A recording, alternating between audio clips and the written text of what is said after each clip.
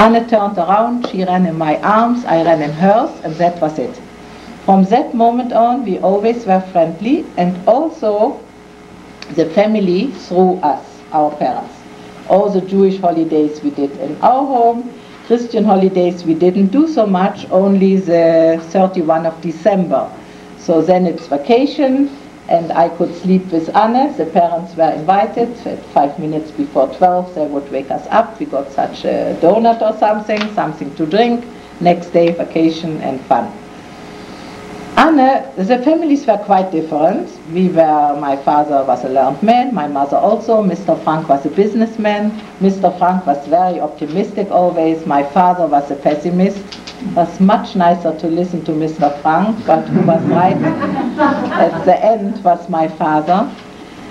And then they had two uh, girls, and I was till then a single child. Anne was a very nice girl. She always wanted to be in the middle of every group. Maybe even somebody that was special was her older sister Margot. She was very obedient, very good looking, and a very good scholar. Anna and me, we were exactly the other way around. Anna, she could do something, and please don't try, only if there is an orthopedic doctor here. She could take out her shoulder out of the socket. And then everybody would look. You would just hear knack, knack, knack, knack. Everybody looking at her, and Anna very happy then she always would sit and write. She would sit like this, hiding. It was between the classes and the breaks. And then she would write and she would write. And now, if somebody would ask her, What are you writing? the answer was, Not of your business. and so we don't know when she really started to write. Because what we found is only two weeks before the hiding. And really, she wrote always. So maybe it was the stories. Anna wrote stories, and that's not so known. And really, she wrote beautiful things, and she was only 14 because when she was 15, she was already died, uh, dead. She wrote about uh, sick children, about poor children, about colored children. Everything that was wrong in this world, she would write about. And she really wrote very nice stories, always a message, and all for children and you can buy it as a book in the States also. And so we don't know when she really started with this diary. My mother would describe Anne very nicely. She would say, God knows everything. Anne knows everything better. now a little bit you understand how she was.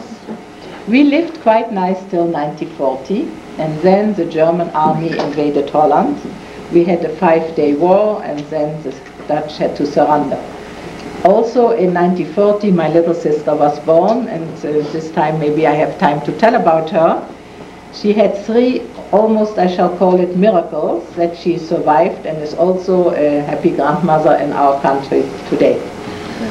But I have to do it quick so maybe afterwards there are questions. Um, now it starts all with these uh, laws against Jewish people. We had to wear the yellow star. We had to leave our public school to go to a Jewish school. Everything that was fun in life, like swimming, uh, uh, park going, tennis playing, was forbidden for Jewish people. In the parks there was written for dogs and for Jews forbidden or Jews not wanted and so on and so on. These are things I think you know all about and who wants to know can read more about it. And then the Germans start to take you from your home. At night, after 8 o'clock, we had to be home. They came with lists and took people just, we don't know how they made these lists. 1942, we still had a festivity. We had to leave our school. There was opened a Jewish school for the Jewish children. And I remember the vacation started and I come to play to Anna's house again in June, uh, July, beginning of July 43, and nobody opens the door. And I ring and I ring, nobody opens. Then there came their tenant. He opens the door, looked at me, he knew me for nine years. What do you want? what do I want? I come to play, we have vacation, no? And so he said, don't you know the Frank family left for Switzerland. So look, these are things you never would speak about if you are leaving or if you are going into hiding or something like this. Because what you didn't know, the Germans, when they tortured you, they couldn't get out of you. But as we later learned, they even didn't try, and that's very good because 1942, I don't think they had a chance to come to Switzerland. Because if you left from Germany, from Holland to Switzerland, you had to pass the Belgian uh, border, the France border, and then only to Switzerland. And the Swiss police had an order not to let any Jewish refugees in. So, you know, a family had no chance, I think. Maybe a young boy that could climb on the mountains or so, but a family not. And so at least they had two years longer to live, and we have the diary. And they really were in hiding in the office of Mr. Frank. I remember on the way back I met my boyfriend, and this boy was 15 years old, and he told me, I came to say goodbye, you were not at home, I have to go to a working camp. And Margot Frank, as we later learned, also got such an order, and she was 16 years old. And look, if I need people to go to work, I take people 25, 35 years, and not 15, 16 years old. Now you had two kind of families. This boyfriend of mine, they had a old grandmother, they had a little baby. So the parents thought, you know, German Jewish people, we have to obey. We have to obey the German authority. And they thought maybe if we send this boy, it will save the old grandmother, it will save the baby, and we can stay at home till the war is over. Nobody thought this war will be so very long. Then there were families like the Franks, and Mr. Frank started to have a hiding place. And so he said, Margot alone? No, Margot got such an order, we learned later. Margot alone we are not sending. All all of us go or nobody. And that was the moment he went with the whole family into hiding. Into hiding, not everybody could go because you had to have very, very good Christian friends because these people were also in very big danger. And also you needed some money, not to pay them, I don't speak about this, but to pay for your own food. And Jewish people at that time almost didn't work anymore. And if you are not working, you have no money and you don't know how long this war will be. So not everybody could do it. Maybe if we would have known what is the end, everybody would have made a much bigger effort. And now in October 1942, my mother was again pregnant. Uh, did I say my sister was born? Yes. Mm-hmm. But she wanted always a very big family. And what happened was in 42, when they came to take uh, family and the pregnant women would open the door, they wouldn't take you. They would leave you at home, but only in 42. Later, nothing would help. But we are speaking about 42. And now my mother gave birth to a little boy, but she and the baby died in October 1942. And now we don't have a mother and we also don't have any protection anymore. And my father needs to get a protection that maybe we can stand uh, still at home till over the war. He got two things. And they were both, the purpose was to exchange us against uh, German soldiers, prisoners of war. We got from my uncle that was in Switzerland, he could buy there with Swiss consuls a passport of a neutral country, and we got a passport of Paraguay. Who knows what is the main of the capital city of Paraguay? The children never know. I also didn't know. I also didn't know, but I asked my father because I was afraid the Germans will ask me. Now I am a citizen of Paraguay. I at least have to know the capital city. But nobody asked me, never. And then we got something else, and for my family it was even more important we got so named Palestine papers to be exchanged against, again, German prisoners of war, German soldiers. And this got, um, these papers got only people that had children, parents, or brothers and sisters here in Palestine, in Israel, and were stuck in Holland because the war started sudden. But my father always helped everybody, and so we got on this list, and we got on the second list, and that was very important as so named veterans. But this helped exactly till 20 of June 1943. Then nothing helped anymore. And now, at 20 of June, Holland was almost um, Judenrein, empty of Jewish people. the Germans came with Dutch police and with vans and they went from door to door. If it was a Christian family, what was mostly, then they would look, maybe they have Jewish people in hiding. If it was a Jewish family, 20 minutes, you come down with your luggage.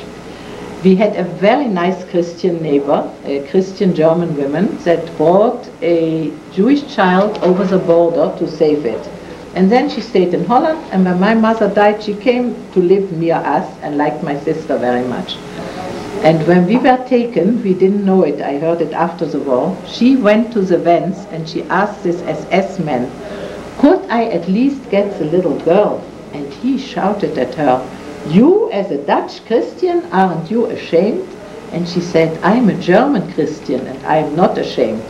The lady fainted, but she didn't get the little girl. Now we come to Westerbork. I really make it very, very short. We come to Westerbork, and in this camp, we um, where it was not so bad. We had still could survive. I didn't have to make a diet as today. But there were the trains, and every week twice there came these trains and took a thousand Jewish people, as they told us, to the east. We didn't know about Auschwitz, we didn't know about gas chambers. In this camp, my sister got very, very sick, and her first miracle, she had three of them, I don't know another name, was she got an operation behind her ears, so the pus could come out. We had the best Jewish doctors, but no medicine. And so she didn't get any medicine, and in Bergen-Belsen, where we were sent 15th of February 44, she went better. Later, doctors explained to me in Bergen-Belsen it's cold, in Holland it is humid and not so cold, so this was better for her. And then she had two other real miracles. I hope I have time to tell them. When we arrived there in this camp Bergen-Belsen, because this time the German called us and he told the people with the passports and the Palestine papers, you go to a wonderful camp, an exchange camp.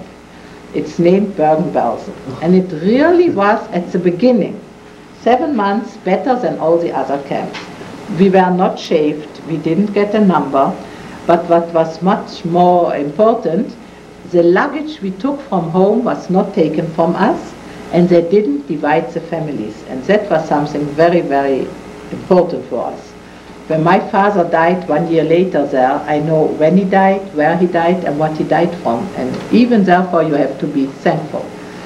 So the, there was a barbed wire, the men were separated in other barracks, but from 7 to 8 every night they could come and visit the women. And the children under three years stayed with their mothers. This was in no other camp. And so I was not yet 16, my sister was three and a quarter, I could take care of her. I went to be very sick and I had to be in a hospital. I got, um, I wasn't so sick, it was a contagious sickness, um, jaundice. The first day when we arrived there, and the Germans were afraid to get to catch sickness, I had to go to a hospital. How can I let my little sister in a barrack with such a bandage, people, 150 people in a barrack all alone? And really, the second miracle was there came a very religious Jewish woman. She had seven children of her own so she should have done enough to take care of them and not take in a little girl, not of her family, and very sick. And that was real, I can call it only a miracle. And she took care for her till I was healthy. And the third thing was that there was a lady that got from the Germans to um, to to give, how do you say, uh, somebody knows? Okay, to to supply to little children under three years a glass of milk twice a week, not every day, twice a week a glass of milk. And the husband of this lady knew my father, and he told her, look, maybe you can save this little girl, give her, if you have left some milk. And you know, this lady, she could have drinking the milk, she could have exchanged it for warm clothes, she could have given her own two children. She gave me this milk and I never gave her something back. And a little girl so small and so sick, if she gets two glasses of milk a week or just nothing, I think all the mothers between you here will understand it's exactly the difference between life and death. But now this camp is going to change for the worse. And why? The Germans don't want eyewitnesses. The Russians come nearer Poland, so the Germans take out everybody from Auschwitz and the other camps that still could walk. And they take them in all the camps and in the munition factories. And so a lot of them also came till Bergen-Belsen, that is much nearer the, the Dutch border than the Polish border. And our camp that was built for 10,000, 15,000 people, at the end had 60,000. And it was at the end much worse than Auschwitz, only there was no killing in this camp and no gas chambers. In between, every day it changed because there came thousands and there were dying thousands. And at the end, the camp was so full that they started to build tents. And one very cold night, all these tents blew down. And my part, you know, it was a big camp, but there were all little parts with barbed wire around them. And my part, with the Dutch and the Jewish people from Greece, we had also uh, Jewish people from, uh, colored Jewish people from Libya. And we were at the end of the campus, and now we saw this tents blew down and we got the order to leave half of our 20 barracks. We stayed in 10 barracks. And the other 10 were separated by a barbed wire. And so we shouldn't see who gets in our empty barracks. They put straw in it, so we couldn't look through. And they put German, um, they put watchtowers with German soldiers and a ripple. And now we couldn't know, we didn't know who was at the other side, but it was very near. We heard only Polish and Czechish. We didn't know these languages. And so it took some three months till February 1945. And then it came out that these were 7,000 women from Auschwitz. And between 7,000 women, there were 40 women from Holland. And they were always walking when they had time near this fence because at our side we were most from Holland and they heard the Dutch. And one day, beginning February 1945, a friend of mine tells me, you know, your friend of Anne Frank, she is here in this camp. And I got crazy because Anne Frank, I was sure is in Switzerland. I was thinking about all my friends, but not about Anne Frank. I was really hoping she's with her grandmother and safe. And so I have no choice. At night I go near this fence. It was very dangerous, but I have no choice. And I start to call. And really the German didn't hear me, but the women at the other side heard me. I was lucky. Mrs. Van Pels heard me. And she said immediately when I told her my name, you want Anna. And I said, yes because they were friends from Frank family, we were friends from Frank family, so I knew, we knew each other, not very good. And I didn't even ask her, how are you, nothing. And really, she said, I will call Anna for you. Margot, her sister, I cannot call because she is already very sick. and so I stood there, was waiting, and after some minutes, really, Anna came to this fence. Couldn't see her, I told you there was straw between the barbed wire, but I heard Anne. And so I said, what are you doing here? I hoped you are in Switzerland. And she then told me that they even didn't try to go to Switzerland, that they were in hiding in daddy's office. And then I told her that my mother and the baby died. She knew about my, uh, a baby, she didn't know about my mother. I told her my little sister is okay because then she was healthy. And my father was very, very sick. He died two weeks later. And Anne answers me, but I have nobody anymore. And that was not right, but she couldn't know. Her sister was with her, was very, very sick, and she knew. Her mother had to stay in Auschwitz. She was too sick to go on. And so Anna was sure she was killed. She was not killed, as we learned later. She died out of malnutrition and hopelessness. And then her father. That was another story. Anna knew everybody under 5 and over 55 is going straight to the gas chambers. Her father was 55 years old. But Anna forgot. When they came to Auschwitz, They were in hiding before, still there was enough food. Then they only were one month in this camp in Holland because they went with the last transport from Holland to Auschwitz. And in this camp in Holland, the food was not so bad. So when Mr. Frank arrived in Auschwitz, he looked healthy and he looked younger than 55.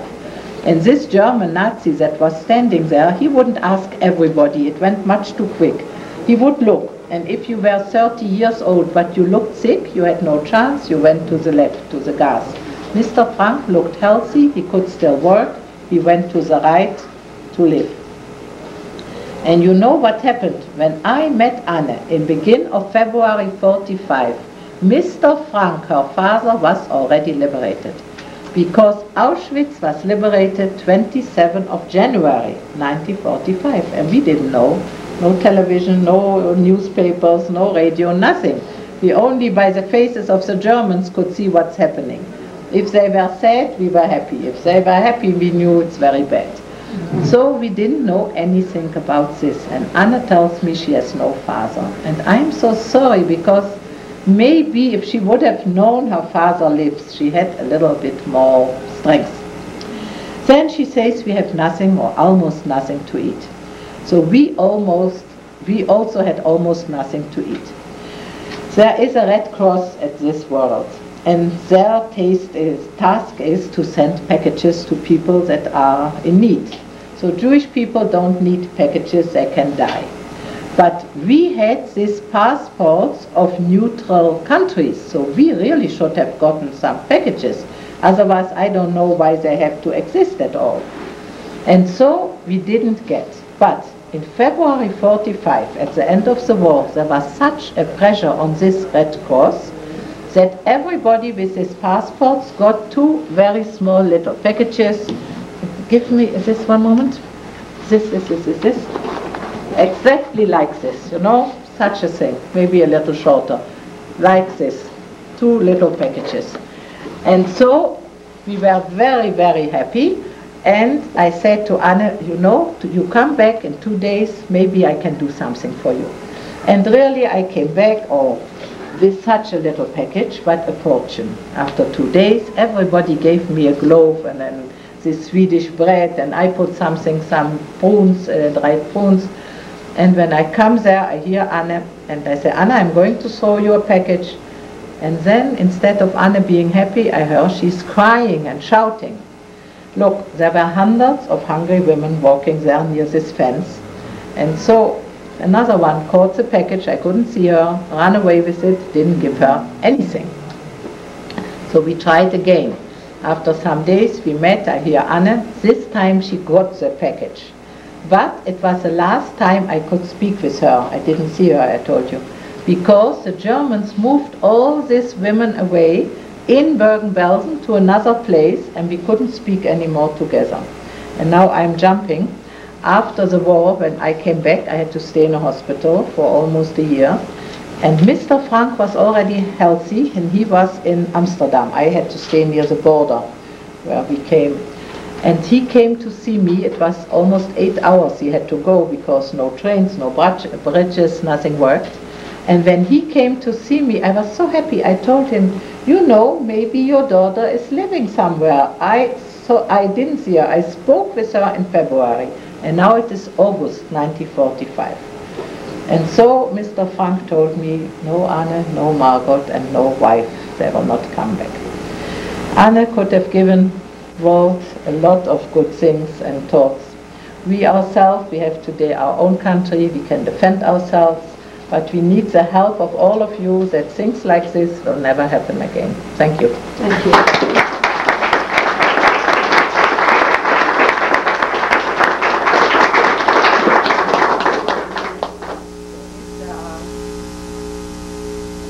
Put out about you with my Yeah, did you see it? And I really enjoyed it, and I was wondering if you could talk about how that came to be.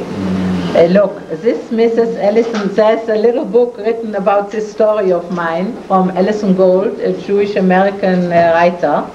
She started uh, to be interested in Anna Frank and she wrote a book about Miep, the lady that helped the Frank family in hiding and that also found the diary. That's also a nice story. But then she phoned me in 92 and she told me her idea was to write for children and if I am willing. And then she came and we had talks for some days and then long, long phone calls. And the book came out in October this year by Scholastic. And they sold it to six other countries, only not to Israel in the meantime. I'm very angry about it. The name of the book is um, to uh, remember and... No, uh, Anne Frank remembered.